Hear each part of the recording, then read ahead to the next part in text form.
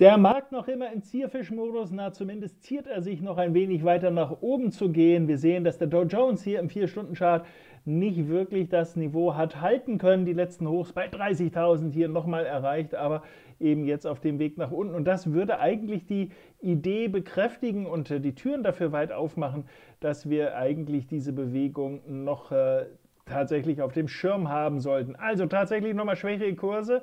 Ah, sieht ein bisschen danach aus, allerdings dürfen wir das nicht überbewerten. Das alleine macht noch keinen Bärenmarkt, denn wenn wir das Ganze ein bisschen hier zusammenschieben, ich gehe mal auf den 15-Minuten-Chart, dann gibt es immer noch eine recht realistische Chance, dass wir nach dieser Korrektur nochmal nach oben gehen. Dafür müsste er aber die alten Hochs nochmal rausnehmen. Deshalb für mich so ungefähr die Niveaus bei 29.900 nochmal interessant. Vorher würde ich hier eigentlich gar nicht groß was machen. Äh, muss man wirklich so lange warten? Naja, ob man muss, ist immer so eine Sache. Ihr könnt natürlich auch hier in diesem Bereich jetzt im kleineren nach genau so einem Muster suchen. Aber das, was hier vielleicht im kleineren noch kommt, das ist das Ähnliche, was wir hier im mittleren Bild haben. Und das ist ja nichts anderes als das, was wir dann im größeren Bild hier haben. Ich habe jetzt hier ein bisschen hässlich gezeichnet, aber ungefähr wisst ihr, was wir haben. Das heißt, selbst wenn man hier erst einsteigen würde und der Markt dann irgendwie sowas ähnliches nach oben nochmal fortsetzt, sollten die Ziele eigentlich weit genug reichen, um noch ein bisschen Spaß zu haben. Denn das bullische Bild insgesamt ist ja unbedingt noch auf der Liste. So, aber das wäre das bullische Bild und ihr seht, dafür hat der Markt noch ein bisschen Hausaufgabe, da hochzukommen. Wie sieht es denn auf der Abwärtsseite aus? Wir haben doch äh, schon ausgemacht, auch im übergeordneten Video jetzt äh, am Sonntag, dass eigentlich sowas hier noch sehr realistisch wäre, dass das früher oder später noch passiert. Hm, können wir damit tatsächlich rechnen? Ja, dann müsste der Kurs allerdings eben nicht steil hier auf der Aufwärtsseite unterwegs sein, sondern müsste er irgendwas Schwaches hier zeigen. Also so ähnlich wie hier, nur umgekehrt. Hier war das ja auf der Abwärtsseite und nachher dann die Fortsetzung nach oben. Ich nehme es nochmal raus, dann seht ihr es besser. Stark auf der Aufwärtsseite, klar wackelig hier im Trendkanal auf der Abwärtsseite. Wenn wir sowas jetzt in umgekehrte Richtung hier bekämen, dann wäre für mich das ein ziemlich deutliches Indiz dafür, dass wir auf dem besten Weg für eine Fortsetzung hier nach unten sind.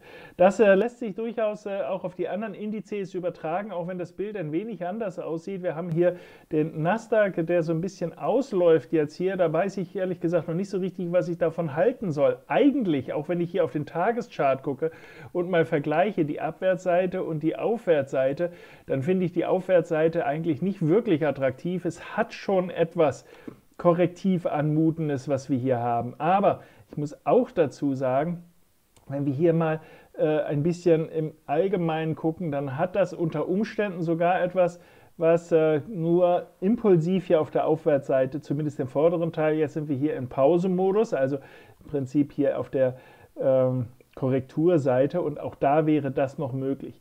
Also wir sehen, dass es für beide Märkte grundsätzlich gilt, sowohl für den Blue Chip Index, den Dow Jones, als auch für den Nasdaq beispielsweise, dass beide Szenarien noch denkbar sind. Und deshalb äh, ist für mich eigentlich interessant, tatsächlich die Trigger entsprechend abzuwarten. Das könnte beim Nasdaq zum Beispiel dieses Tief oder dieses sein, wenn der Kurs da durchgeht, mit gewissen Chancen, dass wir das, was wir hier vorne hatten, hier hinten wenn ich es verschieben kann, jawohl, nochmal zu sehen. Also das halte ich für durchaus eine gangbare Lösung.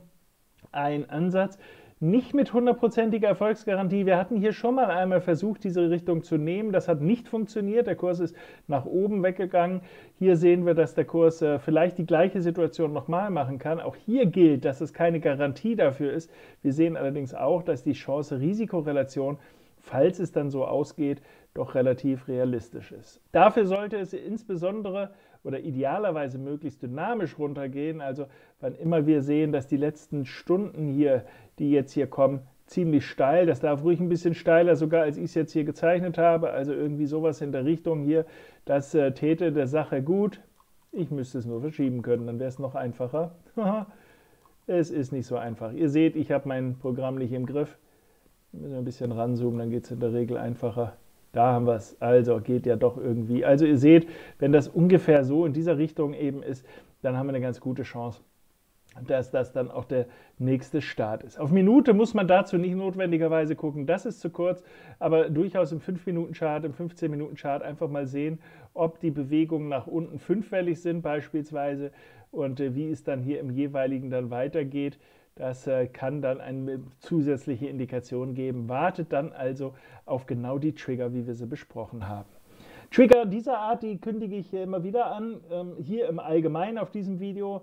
Wenn ich Trigger sehe, die sinnvoll sich umsetzen lassen, dann werde ich die natürlich gerne im Trade des Tages mit einbauen und aber auch im Born for Trading. Deshalb, wenn ihr Lust habt, meldet euch dafür an. Probiert es einfach mal aus, dann seht ihr, wie wir mit diesen Situationen umgehen, wo unsere Entscheidungsmarken sind und wie wir dann unsere Stops und das Ganze setzen, also das ganze Handelsmanagement darum aufbauen. In diesem Sinne euch jetzt erstmal alles Gute, ganz liebe Grüße.